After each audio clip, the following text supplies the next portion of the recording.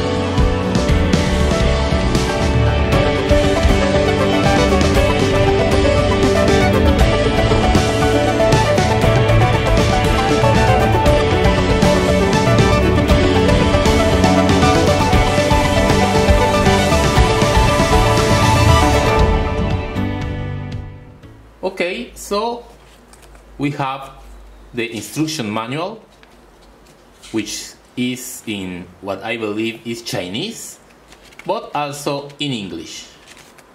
We have the power supply,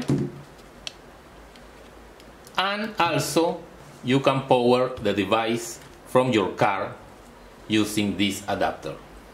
And of course, the charger analyzer itself.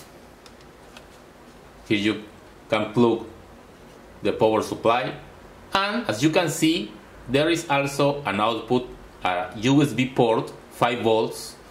And this is an interesting part of this equipment. When you have fully charged batteries in it you can also use it to power 5 volt devices for example to charge your mobile phone. This charger can be used for three different chemistries lithium ion, nickel metal hydride, and nickel cadmium. And you can charge almost all of the cylindrical cells. We have four charging bays. That means that you can charge up to four batteries independently. But you have to take into account that the total current of the four bays cannot exceed 4 amps. That is, you can charge, for example, two batteries, each at 2 amps of charge, and that gives a total of 4 amps. However, you will not be able to use the two remaining bays. Or you can charge 4 batteries, each at 1 amp of charge. Or any combination that does not exceed a total of 4 amps. When you connect the charger, and you have no batteries, you can see null on the screen. But let's put one of the cells in order to see the information on the screen. I am using bay number 2. You can hear that the LED is on and here you can see the screen. There are two, three modes on this charger. One is the charge mode, another is the discharge mode, and the tier 1 is test. The first two are self-explanatory and the test mode, what it does, it does, it will totally charge your battery, then discharge it totally and charge it again. And after this cycle, it will give you the total capacity of your battery. You change the modes with this button and suppose that we want to charge the battery. I put it on charge. And here I can select the current. You can select from 500 milliamp hours up to 2000 milliamp hours. And this is blinking. After 8 seconds it will stop to blink. You can see? And that means that your charging cycle has initiated.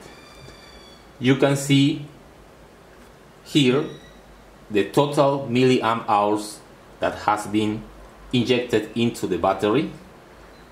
Here is the voltage. This cell was almost fully charged so the voltage is 4.2 volts. The screen turns off automatically after some 10 seconds but pressing any button will bring it back again. So voltage total milliamp hours time elapsed and here you can see the, the charging current that you selected after the battery is completely charged the charge process will stop and you will read the total milliamp hours that has been put into your battery and the elapsed time. I will try with these two batteries in the test mode in order to obtain the capacity of the cells. As you can see, this battery says 8800 milliamp hours, which of course is not true. Even the best batteries will give you not even half of this capacity. But let's check to see what is the capacity that we get. I will put this in bay number 2 and select the test mode. And I will use a charging current of 500 milliamp hours. Okay it has started the process. And then the other I will put the battery backwards. And you can see that the charger will detect that is not connected in the proper position. So I put it in the right way. Now I select also test mode but this I will charge at 2000 milliamp. You can select different parameters for each of the four bays of the charger. Okay the process has started. And in bay number 2 we have the other cell it has now 6 milliamp hour of charge. Remember this is a three step process. It will completely charge the battery first then discharge it completely and then charge again. And at the end of that process it will give you the real capacity of your cell. Okay the process is finished. You can see that the lights are green and that indicates that the batteries have been tested. The first one in bay number 2 indicates 449 milliamp hours in discharge and 479 in charge. The two figures are always very similar. Of course, it is much much less than the 8800 milliamp hours that the battery says. We already knew that. And the other battery in bay 4 indicates 498 and 491 milliamp hours. Okay, so there you have it.